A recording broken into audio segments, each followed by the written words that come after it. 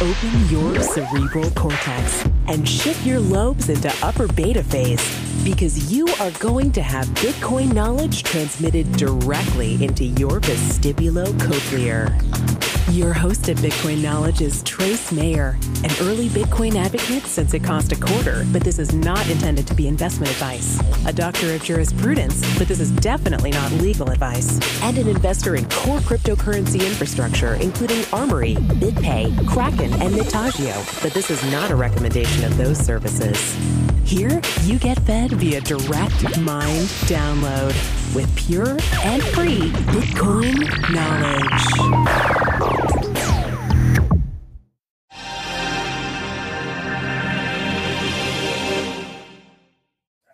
A most exciting substitution. A last minute guest speaker who just came to our attention. And his name is Trace Mayer. He is an early Bitcoin adopter, an early Bitcoin investor, and he has some exciting material for you.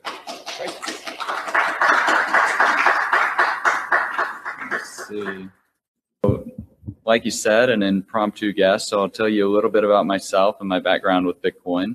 Uh, then I'll get into uh, some of my investments and then a tremendous use case for Bitcoin that everybody, even people who hate Bitcoin, should use because you're able to save at least uh, 20% off of pretty much all your purchases. And uh, then going to talk a little bit about the network effects that you should be on uh, we have taking place with Bitcoin.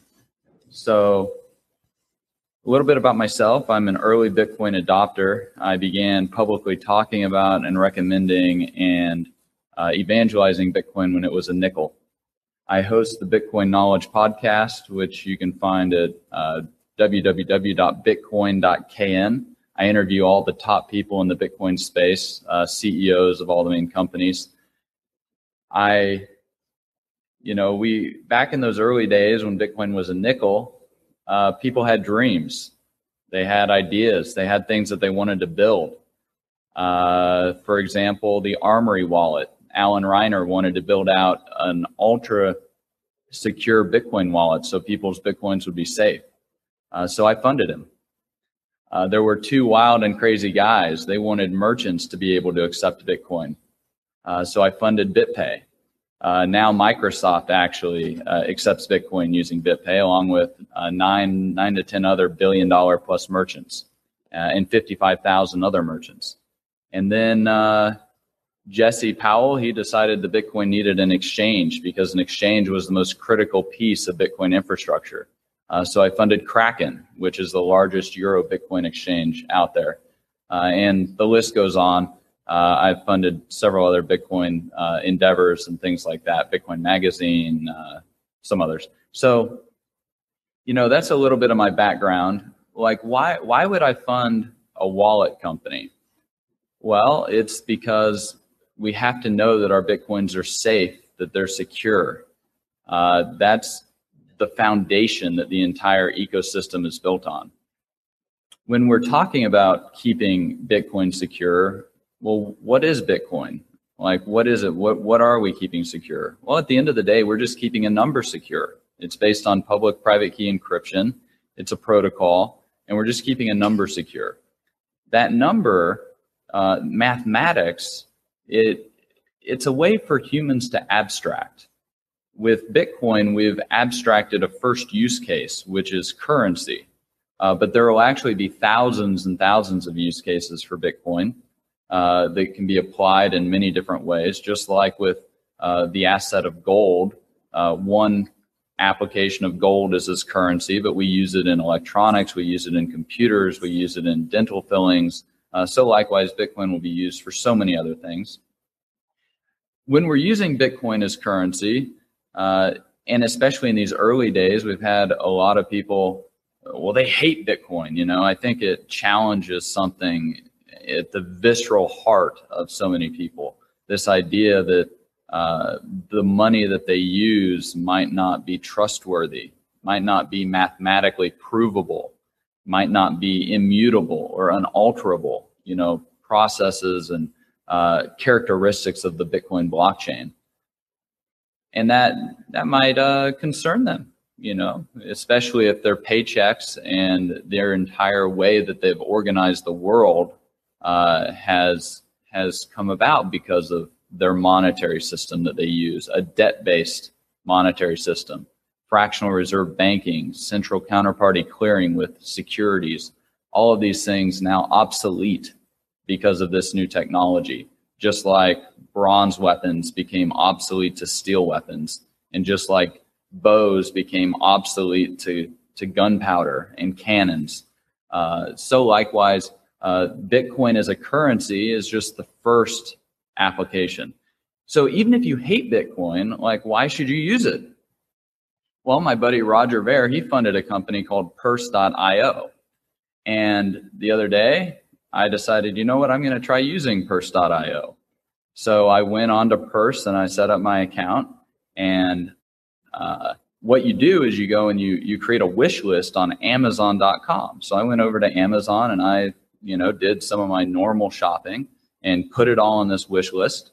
And then I imported it to my Purse.io account, and it was like a hundred dollars or something. And uh, then I sent my bitcoins to Purse.io, which got held in escrow. And then I set my discount, and I set 35%. I only wanted to pay pay 65 cents on the dollar for this Amazon wish list. Uh, and, you know, it listed it in the order book. And within three hours, someone had bought my wish list for me. And within two days, I had the product in my hand and then they got the Bitcoins. Well, they, in effect, they buy the, they buy the product off Amazon. The, question is, is, is it a reverse bidding or reverse auction? the discount that I that I set, the 35% discount, there's the spot price of the bitcoins, and then I get the 35% discount. And so it factors in that into the exchange rate for people who want to buy the bitcoins. And so, you know, somebody bought the wish list and in exchange they got bitcoins. Now, why would they want to do that? Well, that's where this this Trojan Hydra of Bitcoin, it's not just a Trojan horse, it's a Trojan Hydra that's regenerable, it can regenerate. Uh, this Trojan Hydra of Bitcoin is making markets more efficient. What, how's it making markets more efficient in this case with Purse.io? Well, I went to circle.com and bought my Bitcoins, you know, my hundred, my hundred dollars worth of Bitcoins, and I sent them over there, uh, and I pay you know, pretty much 0% fees at Circle.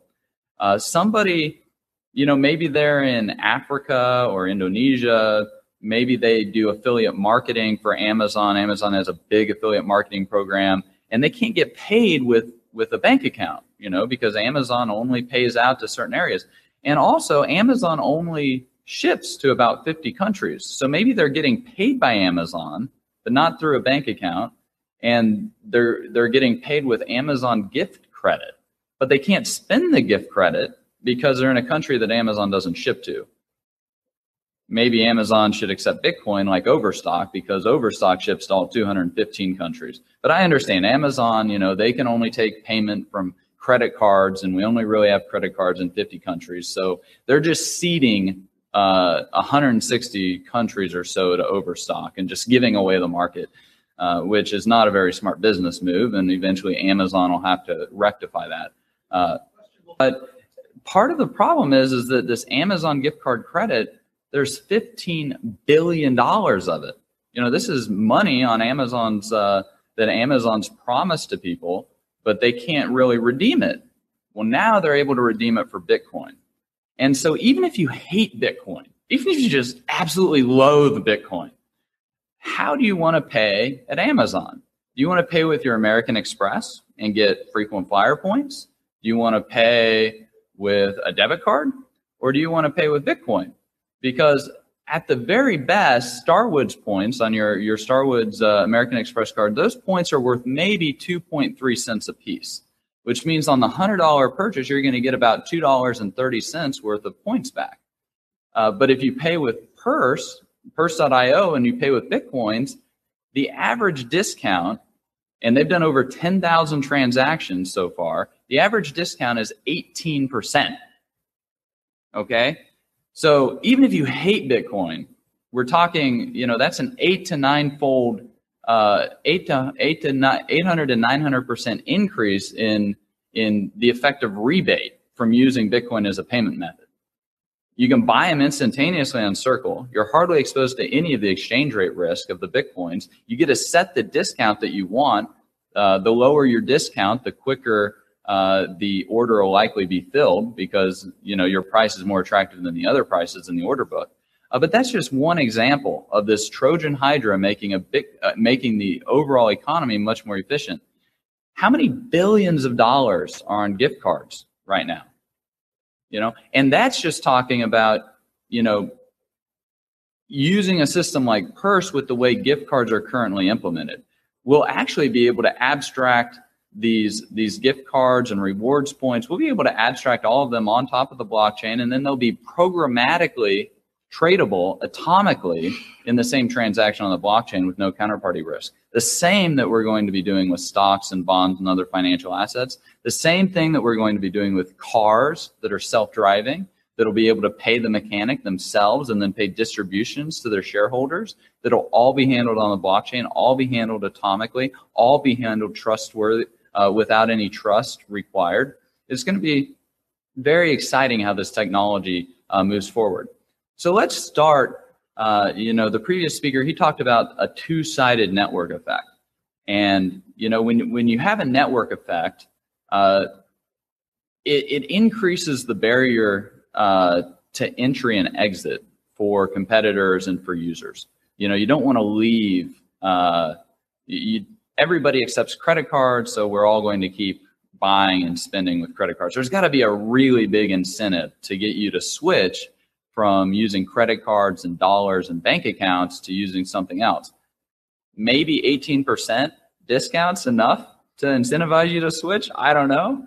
Uh, but you know, a net, a net of 15% might be, be good enough. Uh, you know, but, but we have to overcome these network effects. And so Bitcoin's actually got seven network effects taking place, taking root all at the same time. So let's march through them. First uh, is speculation. You know, everybody loves to chase the rabbit. Everybody loves when the prices go up and down. It generates lots of excitement. Like everybody just loves to chase the rabbit. Uh, you know, funny story with that. I was I was at an event with uh, Philip Munger. He's Charlie Munger's son. Charlie Munger is the uh, vice chairman of Berkshire Hathaway, multi-billionaire, and uh, and Warren Buffett. He was asked about Bitcoin. He said, "Oh, it's a mirage." And Charlie Munger he was asked on TV, he said, Oh, it's rat poison. And uh, on TV was also Bill Gates. And Bill Gates, he said, Well, I think Bitcoin's a technological tour de force. You know, so so who are you going to kind of take as an authority? Someone who built Microsoft, or you know, the greatest investors in the world? You know, it's kind of a it's kind of a toss up, right? Especially when you. It's, yeah, yeah. I mean, but but part of part of being the best investor in the world is owning the government, being able to get all that bailout money. I mean, you, you got to get a good return on investment for those political donations, right? So you know, it's but Bitcoin is complicated. Like, how do you how do you assess it if you're just kind of looking in on this? And so, you know, Philip and I, we're we're walking around looking at this fashion show and all the all the cute models and stuff. And he was like, "Well, you know, like what's your return been on Bitcoin? And I was like, uh, I, I don't know what you mean. And he was like, you know, like what percentage up is it? And I was like, oh, I think I understand what you're saying. Well, I'm up about 2x. And he was like, only 2x? And I was like, well, yeah, I mean, in three years, I'm up about 2x what Berkshire Hathaway's up in the last 35. And he's like, like percentages, how about 280,000%? You know, so when we're talking about volatility and uh, potential for appreciation, I mean, this this gets fun. You know, and then, you know, I told him the biggest gains for Bitcoin could very well be in front of us. Uh, one of the earlier speakers talked about how it's a new asset class. This is really a new form of property. This is crypto property, property backed by cryptography. Uh, it's a new asset class. You know, we have we have trillions of dollars in stocks and trillions of dollars in bonds and trillions of dollars in currencies and in uh, commodities and and hundreds of trillions of dollars in real estate and derivatives and things of this nature. You know, those are all storage tanks that are filled up, and the capital kind of moves between all those storage tanks. Uh, and then we have crypto property or cryptocurrency. We have Bitcoin, and it's an empty storage tank. There's only three to four billion dollars in it right now. And yet, if it's going to become what it's destined to become, uh, we're talking trillions of dollars are going to have to be in this new asset class, this new form of property. Uh, and so that's speculation, you know, like people are kind of looking out into the future. They're discounting the probability that that's going to happen, and that's going into the price. Uh, and speculation, you have to have security. You got to keep those bitcoins safe. You know, everybody everybody seems to get their bitcoin stolen one way or the other. Uh, they let somebody else hold the private keys. You know, because that's just the way that we've we've been conditioned with property for the last five thousand years. Is somebody else holds the private keys. You know, the the the dollars in your bank account. You're actually an unsecured creditor the, the dollars aren't there. Everybody knows it. It's called fractional reserve banking. Uh, we have reserve requirements. Uh, there's a mismatch between time deposits or and uh, demand deposits. So I mean, you know, the money's really not there. Uh, everybody kind of just hopes that when they need it, it'll be there. Uh, the Greeks are finding out it's not that way. The Argentines, the Venezuelans, bailouts, bail-ins, you know, it's going to get fun. It's going to get real fun. And, you know, if, if, if the government, $17 trillion in debt, where are they going to get the money? Going to get the money from whoever's stupid enough to not hold the private keys to their own wealth.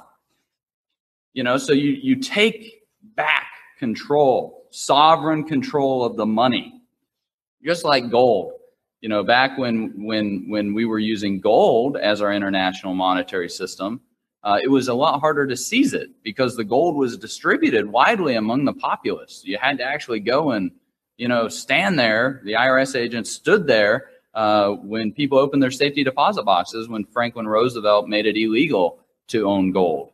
Uh, you know, when when Hitler made it illegal to own gold, you know, they're SS right there. Get your gold. Mao made it illegal to own gold. Uh, Stalin made it illegal to own gold. You know, so it's it's it's definitely going to evoke strong emotions on one side or the other. If you want to hold your own assets, then you like Bitcoin.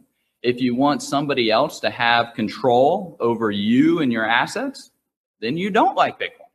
Uh, it's really kind of a one or a zero game. You know, that's how cryptography works. It's just math. And at the end of the day, violence can't solve a math problem. That's just not how math works. And I mean, you can't just aim like the nuclear bomb at the Bitcoin algorithm and obliterate it. Like it just math is math and you either have the answer or you don't. So Bitcoin's a little different than gold in that sense. You can't just kill somebody and and get the purchasing power of the Bitcoin. I mean, you have to actually got to get those private keys one way or the other. Uh, and I've had some friends, you know, they sent their Bitcoins to the wrong address. That's a problem.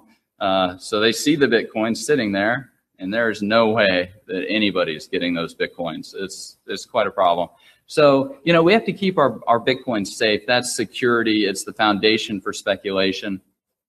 Then our next network effect is going to be merchants you know, now that people got Bitcoins, they want to spend them, you know? So we got merchants adopting Bitcoin. BitPay's got uh, 50, 60,000 merchants. Same with Coinbase. We've got uh, processors that make it super easy for merchants to accept Bitcoin, 0% fees. You know, you get an instantaneous, uh, no chargebacks, no fees. Direct deposit comes the next day in dollars if you don't want any exchange rate risk. There's no reason for a merchant not to accept Bitcoin. Uh, you add two lines of code to your website, you're up and running taking Bitcoin. Uh, you know, then you can take customers that everybody else can't uh, until everybody's accepting Bitcoin. And then we got more network effects taking place. Now that merchants are accepting Bitcoin, well, there, there are consumers that will pay uh, and will buy stuff only using Bitcoin. Who might those merchants be? Well, I already talked about them. We got 150 countries that don't have credit cards. Uh, one out of three credit card transactions from Africa is fraudulent. So, I mean, you just, as a merchant, you just aren't going to accept payment from somebody in Africa. You're just not going to serve that market because of the cost of the chargeback. Additionally, man, hackers, they love credit cards. You know, why do they love credit cards? Because the bigger the the the bigger the entity, you know, like Home Depot, the bigger the database. And so there's actually reverse economies of scale when it comes to credit cards. Who does the hacker want to steal credit card data from? The little merchant with 5,000 people in the database or the big merchant like Home Depot with 55 million in the database?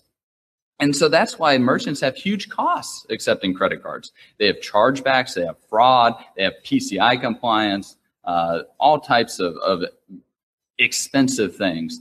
Uh, and then customers have expenses with credit cards. They have to give their name and their address and their and their credit card number. I mean, how stupid is it to put the private key out in the public for everybody to be able to steal? I mean, it's just insane. So, you know, we have all these problems uh, that keep some people out of the system of using credit cards. They might very well want to use Bitcoin. And if a merchant can accept it and pay no fees and not be exposed to any exchange rate risk, why not accept it? So that's why we're seeing a lot of merchant adoption. Uh, so we got our speculation, we've got our merchants, we got our consumers. You know, all of this increases demand for Bitcoin. We often don't really talk about the demand for money uh, but just like the supply of money, you know, with the Federal Reserve, you can just do Control P and just keep printing, you know, more of these dollars. They're not limited in amount. You can just print as many as you want. We've been printing trillions of them over the last few years, uh, mainly giving them to people like Warren Buffett uh, and and the banks that got bailed out. Uh, so you know the way they're created, we don't really know. It gets handed out in an arbitrary way based on political favor. But Bitcoin, we know exactly how many Bitcoins there are.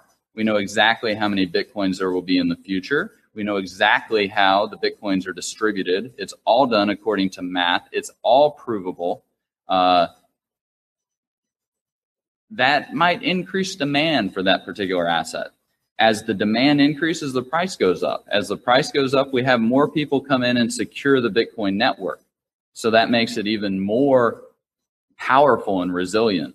Uh, in terms of numbers, it's now at least a hundred thousand times more processing power than the hundred than like the 500 largest supercomputers combined. Uh, so the Bitcoin network is orders of magnitude larger than any other distributed computing network ever in the history of the world. It's just it boggles the mind how much processing power has gone into the proof of work that secures that blockchain. So that's the security, you know. So there now we got four network effects because if you're going to have some other son of Bitcoin, you know, as Jeremy Allaire said, if you're going to have some other digital currency overcome Bitcoin, what's going to have to overcome all these network effects in order to do that? Uh, number five, well, you know, if we've got merchants and consumers and and security and speculation, what's going to get the developer mind share? Like, why did the developers go and build the Apple App Store instead of the BlackBerry store? You know, when all the developers started working and tinkering on Apple stuff, that was two years before BlackBerry stock cratered and jumped off a cliff like a bunch of lemming. Uh, and Apple stock, you know, Apple's probably going to be the first trillion dollar market cap company here pretty soon. Why? Because the developers make the piece of glass useful and valuable for the consumers who want to buy it. And so that's all part of the network effect.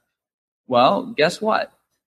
At Money 2020, the premier payments conference in the world, uh, they had a hackathon.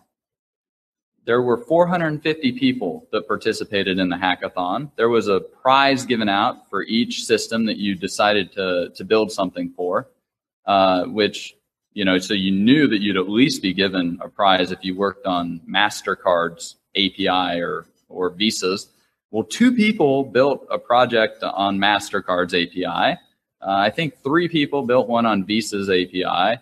Uh, over 80% built a blockchain, a, a Bitcoin related project. Over 80% of the people in the hackathon. All the developers, what are they building on when it comes to new financial services? Bitcoin. You know, so the developer mindshare, all the people who make the innovation, who make things more useful, they're all building on Bitcoin. Why is that? Mainly because Bitcoin's a dumb network. It's very uh, predictable. You know, we have the rules. Anybody can access it. Uh, and so it allows for very smart devices as opposed to a smart network, uh, which would be like the Federal Reserve that has to interact with very dumb devices uh, like Fedwire. It enables for innovation without permission, and it enables this innovation to happen at the edges. And so Bitcoin, uh, by its very nature, will outcompete in terms of innovative resources uh, any other monetary system out there uh, that is uh, not uh, dumb in that sense. So it's a very, very good, good place for Bitcoin to be in. And if you're going to be developing an altcoin stuff, uh, developing a digital currency thing, why develop uh, some other altcoin? Why not just develop on Bitcoin? So uh, that's one of the reasons why we have thousands of projects in GitHub that are all being developed out by Bitcoin developers. Well, now we get to the sixth network effect. And we just saw massive news about this yesterday. Uh, no, John Betts, the CEO of Noble Markets, uh, is going to be using NASDAQ's uh, trading software for his exchange. Uh, I've recently interviewed Paul Chou. He's the CEO of LedgerX uh, for my Bitcoin Knowledge podcast. And LedgerX is going to be doing is going to be a swap execution facility for Bitcoin derivatives, and they're working on getting their regulatory approval from the CFTC. Well, what's that sixth network effect? It's I like to call it financialization or uh, where the real guts of our financial system get creatively destroyed as Bitcoin moves into it, as Wall Street and Beijing and Hong Kong and Singapore and the Netherlands and London uh, all come in and, and bring the massive amounts of wealth into this new form of crypto property, into this empty storage tank what'll happen from all six of these network effects? Well, hopefully in 10, 20 years down the road at the very largest uh, kind of vision that I could see is that we'll have the seventh network effect, which will be world reserve currency status. We will be settling all forms of property rights into the blockchain. You'll be able to trade a house with all of its tenants paying their, their rents and whatnot. You'll, you'll trade that house for the Bitcoins atomically in the blockchain. Like, why do we trust the, the, the property registries in our local county courthouses? Why wouldn't we just trust the blockchain? You know, one of the uh, attorney generals for a major state, you know, we, we asked him, well, what's the, what's the biggest problem that you got? And he's like, we have thousands of people calling us every week that can't find the title to their house. We could put it right in the blockchain, instantly look it up. You know, no more no more chain of title searches, no more title insurance. Bam, right in the blockchain. Trade it for the bitcoins in the same transaction.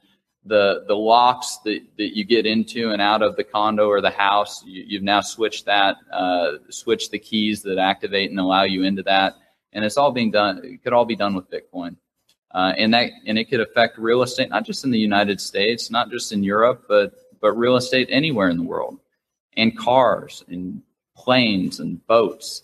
Uh, you know, it could be Chevron trading a refinery to uh, to ConocoPhillips 66, and it could be that refinery and all the property within that refinery and all the contracts that have been made with that refinery and the payments channel that's that's automatically paying for and settling uh, for the oil that's coming in from the producers, all being handled uh, in a very automated way through the blockchain, but yet completely trustlessly. Uh, that's you know what I'm talking about in that seventh network effect. People and corporations and institutions settling uh, into Bitcoin. You know, we tried to do this with gold. Uh, Isaac Newton he came up with the gold standard, uh, which you know, tried to settle the, the balance of payments and, and the capital flows between the na- different nations and things like that. But gold was a very crude ledger to accomplish these things. And at the end of the day, uh, Bitcoin is triple entry bookkeeping, the first practical implementation of it that we've ever had. We, we only developed double entry bookkeeping, uh, you know, in the 14th century or so. Uh, and that led to the accumulation of capital and the building up of the corporate structure and all of these types of things, our ability to account and, uh, and, and like measure our wealth. But now we're going to be able to do it in a, in a triple entry bookkeeping way, a way where the ledger is distributed, where it's immutable, where it's unchangeable. Uh, we'll be able to have history that you can't rewrite. SEC filings that you can't change ever. You know, it's it's going to be very fun, very exciting, uh, and with that, I suppose I'm done. Kind of ran out of stuff. Maybe we have some questions that people want to ask. Yeah. So so how do we make Bitcoin easier for people to understand? Uh, I think 18% discount is pretty easy to understand, and if somebody doesn't get that, like they got a problem. Um, I mean, it literally, you, you get your Circle account set up. You can buy $500 worth of Bitcoins, instantly withdraw them. Uh, takes maybe five to 10 minutes to, uh, to do that. You get Bread Wallet on your iPhone. It's a free wallet, uh, very secure. I interviewed Aaron Voisine, the CEO of Bread Wallet, on my podcast, and we talked all about it. If you want to learn more about it, free app, withdraw the bitcoins from Circle to your Bread wallet, set up your Purse account, get your Amazon wish list, buy some bit, buy something off Amazon with your bitcoins, get a 20%, 25% discount. That should be pretty easy for people to understand. Even if they just hate Bitcoin, even if they just loathe Bitcoin, uh, 25% discount. I mean, it should be pretty self-evident. You know, and from there, you know, once people start realizing how useful and what the utility of it is, uh, they'll find other uses for it. They'll find other ways that it can make their life more efficient and add more wealth and value to them. Uh, so the question is, how does one acquire bitcoins? Uh, you can you can get them gifted to you. You could uh, buy them on Circle.com or another exchange like Kraken.com. Uh, yeah, you could sell your own products or services and accept bitcoins. Uh, you could uh, get gifted bitcoins. You could try to mine, although I wouldn't really recommend that currently. It's extremely competitive and specialized now. Uh, but yeah, I mean, it's it, I think it's really great for people to uh, trade their goods or services for bitcoins, particularly if it's a service. You know, then you're just trading some time and you get to play with this new technology. At the end of the day, it's a new technology. We know how to send emails. We know how to you know, use a calculator and calculate change and write checks and use credit cards. Get with the times. You know, you, you need to you need to be digitally literate in as we move forward into uh, this new era. And if you're not, you know, like if the robot's not cleaning my toilet, I might hire you. So, you know, that's just how it's going to play out. And uh, so it's very important for people to you know, take an active role in their own financial circumstances and well-being because at the end of the day nobody cares about your financial circumstances more than you do. Any other questions? Why why would corporations Oh, like so which companies currently accept Bitcoin? Uh, there's over a hundred thousand merchants that have integrated with Bitcoin now uh, Overstock, Newegg, Microsoft, Tiger Direct, uh, Dell. You know, those are just some of the big publicly traded ones. Zynga is another billion dollar company. I mean, Namecheap, uh, private internet access if you want VPN services. Uh, there's, I mean, there's pretty much anything that you want to buy. Like you can figure out a way to buy it with Bitcoin if you're got a little bit of ingenuity. Oh, the, the NFL accepts it? Yeah, you know what we need? Like, I went to a Knicks game uh, the other night, and of course, like, showed up absolutely way too late with my brother in law. And so we had to get scalped for our tickets. Um, we didn't know whether the tickets were valid or not when we're getting scalped, right? So, so the guy had to like walk us up to the line. I mean, wouldn't it be great if the tickets were issued on the blockchain and, and he could just transfer the tickets to us and the bitcoins in the same transaction atomically, and it'd be completely trustless, uh, trustless, and and I mean, Bitcoin, so many applications and so many different ways to make life easier. Uh, another question? Yeah, I mean, Bitcoin. I, personally, I think it's good for Bitcoin to grow in a very organic way like this. Uh, you know, my, my companies like Armory and BitPay and Kraken, they, they just get overloaded uh, when the price goes up. But you know, each time we we have the the price goes up and it brings a new media cycle and tons of new users come in, you know, and then it settles down. It lets us build out more and more of this core infrastructure. And so I, I think it's very good for Bitcoin to, to grow in this type of a way. You know, people want it to grow so fast overnight, but they're not the ones actually building the stuff out. You know, they're not the ones dealing with the customers and dealing with, uh, you know, getting this software built and stuff like that. So I, I mean, I think it's, I think Bitcoin is doing great right now. If anything, it's a little bit further ahead than where I kind of estimated it to be at the current time. Um, but you know, it's it's moving along just great, and I've never been more bullish about Bitcoin. Uh, I think about probably about eight to ten months ago, I think Bitcoin passed the point of no return. Uh, before that, it was very much proof of concept, but now I think it's past that point of no return. It will be the internet protocol for transferring value. Uh, it's just got too many network effects. Nothing's going to overcome that. Uh, and so, you know, that's it's just a matter of building it all out now. So the question is, what comes first, the audience or the infrastructure? Um, I think you know, obviously we have to have some audience that comes in, but it it we've seen it come in waves, you know. And uh, for example, I was talking with Tony. Uh, he's our chairman of the board there at BitPay, and you know, I was asking, you know, what's kind of the state of all of our merchant adoption right now? And he was like, well, you know, I think we've kind of, uh, we've got enough merchants accepting Bitcoin. What we need now is we need to find ways for people to pay, get paid in Bitcoin. Um, so I'm, you know, I'm actively out there scouting for, you know, a deal kind of like Bitwage. Uh, Bitwage lets you allocate a portion of your paycheck uh, to automatically get converted into Bitcoins and sent to your address. So, you know, as as we move further down these network effects, you know, all these network effects are taking hold at the same time, but some of them I think take hold faster than others, and so we kind of naturally need to be rebalancing in those areas. I know with Armory, uh, we have got huge, huge innovations that have been coming out. We've got uh, completely distributed hierarchical deterministic multi-signature cold storage that's on the horizon uh, with sufficiently uh, distributed fragmented backups and the ways to protect the keys and be able to rotate managers in and out uh, along with key key ceremonies for generation. So that's going to, uh, you know, we don't, you can't go and, and tell a bank or a big corporation to put $100 million into Bitcoin, you know, six months ago. Like the, the infrastructure just wasn't built. Like they couldn't, meet their fiduciary duties very ad hoc.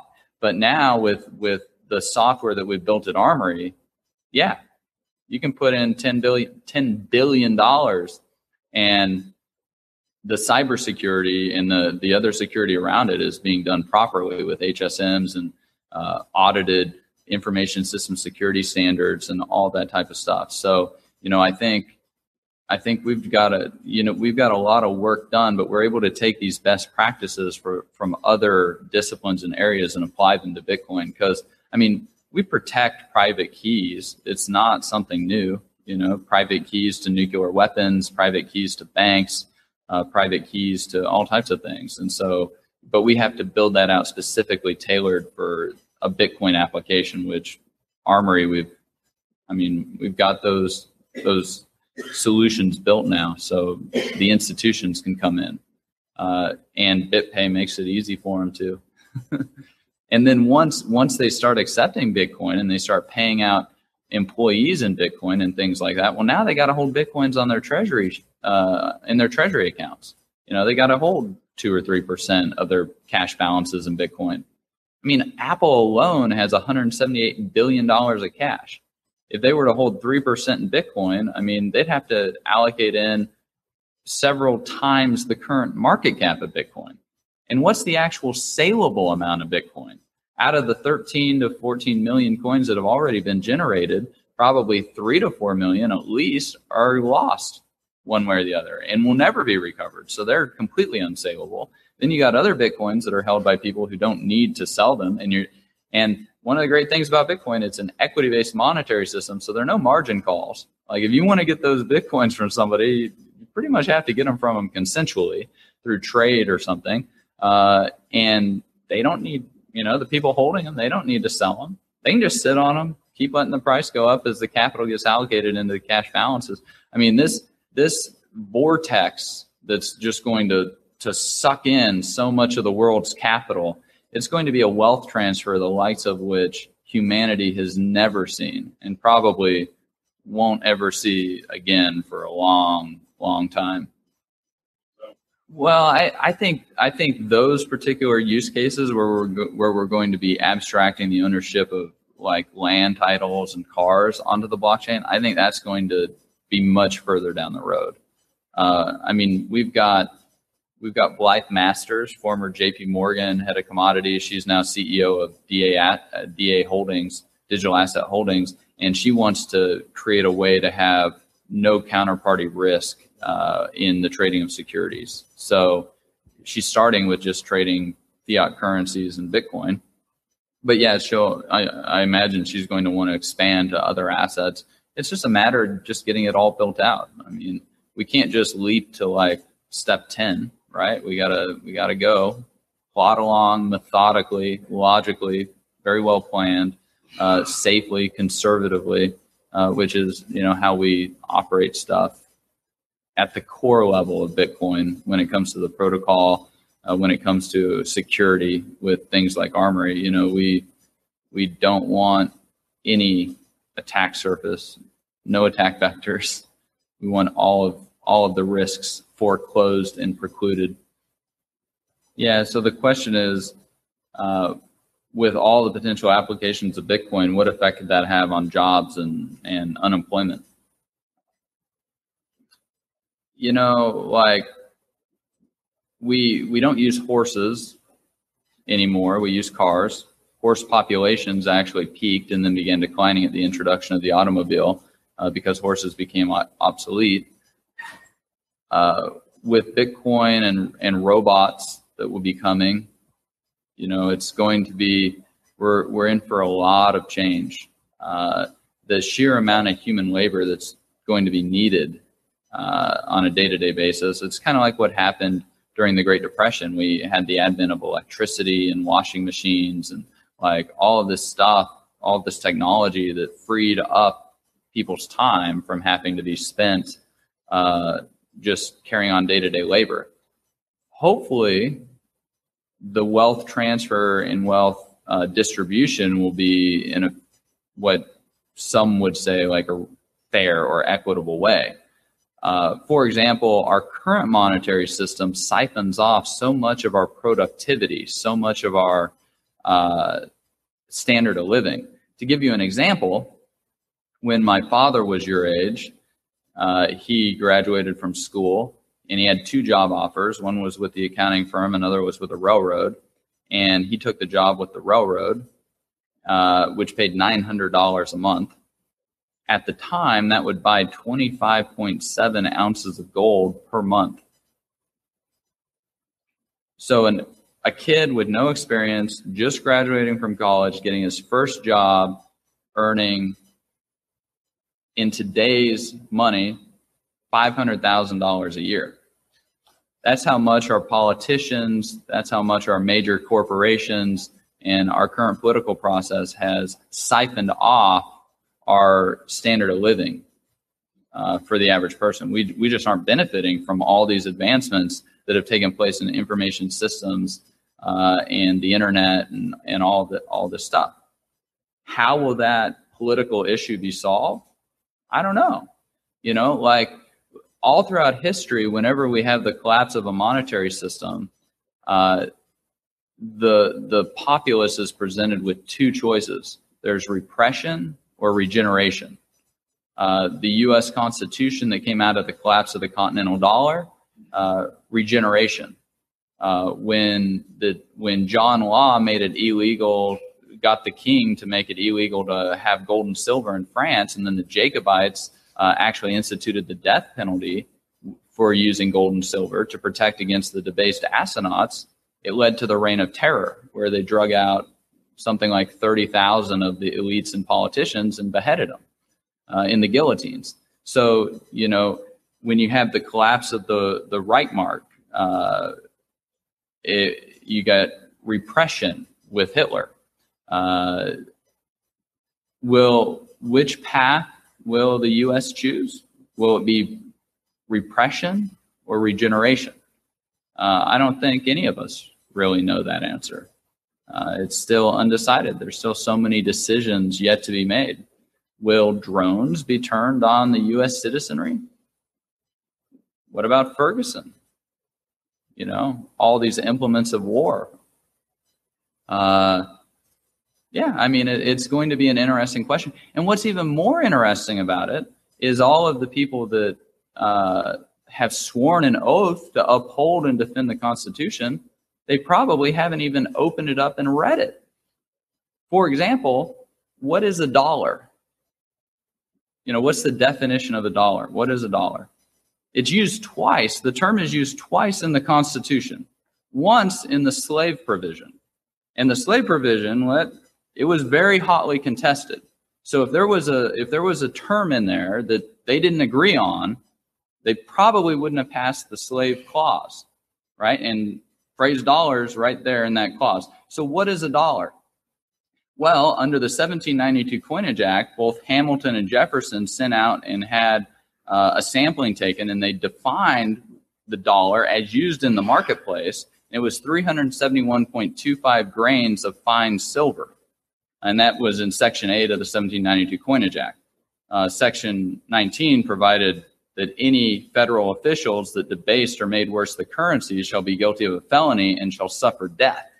So we used to have the death penalty in the United States uh, for, you know, creating lots of uh, uh, debasing the currency, you know, counterfeit inflation, basically. So what is a dollar today? Well, under uh, federal code 31 USC 5101 through 5118, we've defined a dollar as one ounce of silver. We've defined $50 as one ounce of gold. We got pennies and nickels and quarters and dimes, all of differing degrees and compositions of copper and zinc and other stuff, and yet they're defined as dollars. And so when you actually write out the equation, does 50 ounces of silver equal one ounce of gold? I don't know if you've taken chemistry class, but no, it doesn't. Uh, and then we have Federal Reserve notes that also are defined as dollars. And so we've we've got unintelligible federal law defining what the dollar is and making it legal tender.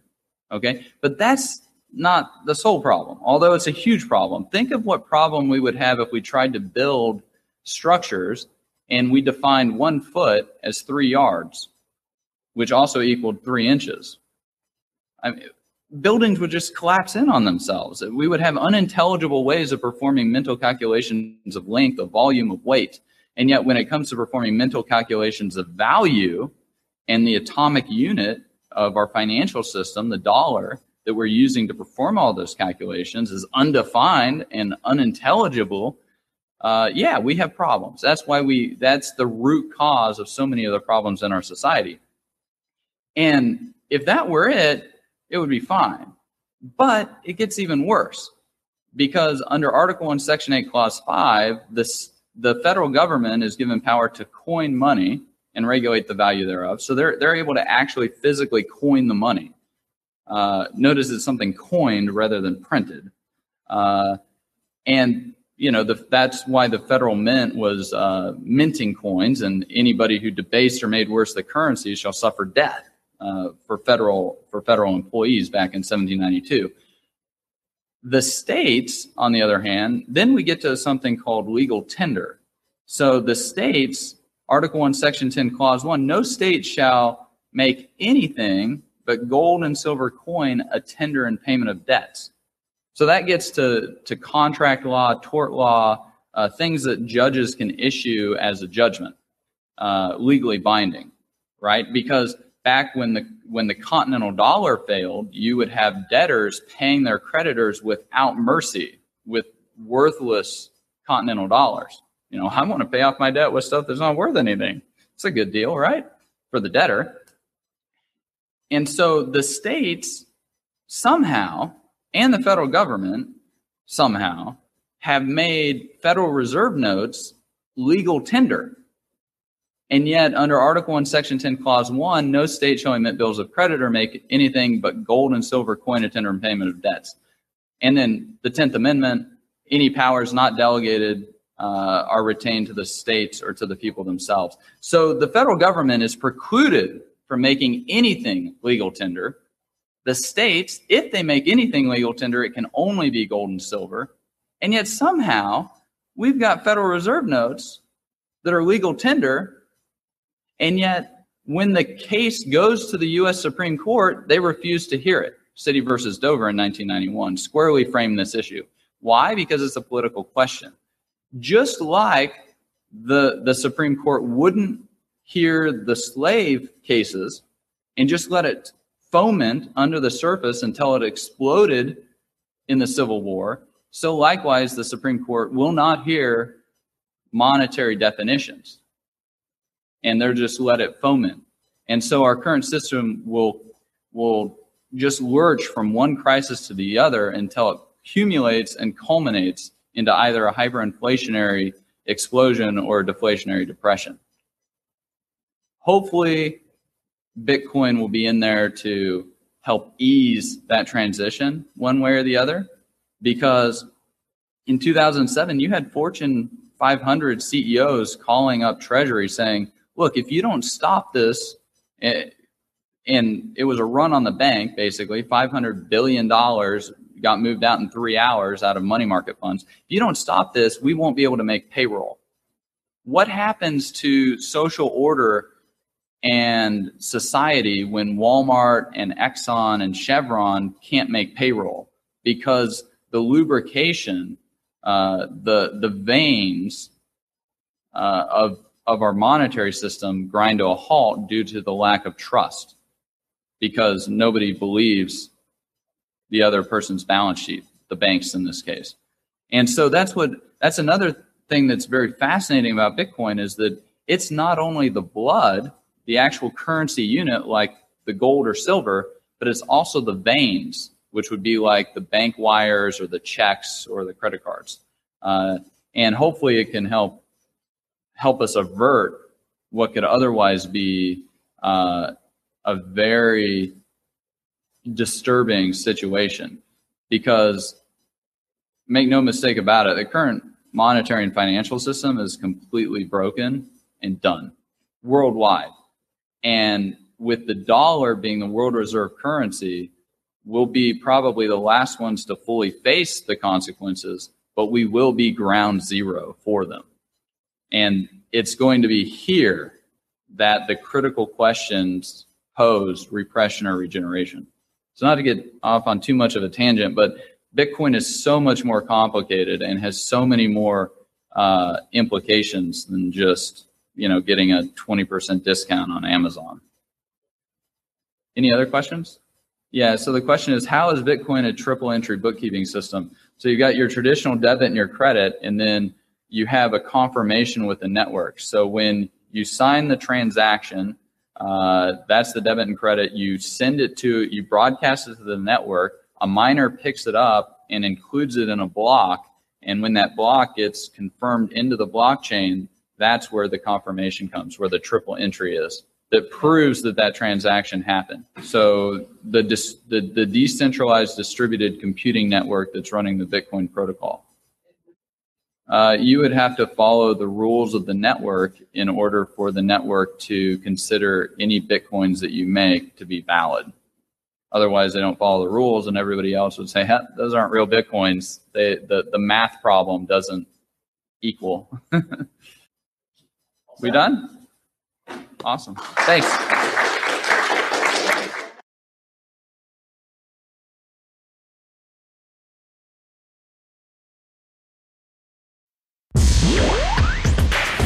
Be sure to get a copy of the free Bitcoin Guide at freebitcoinguide.com.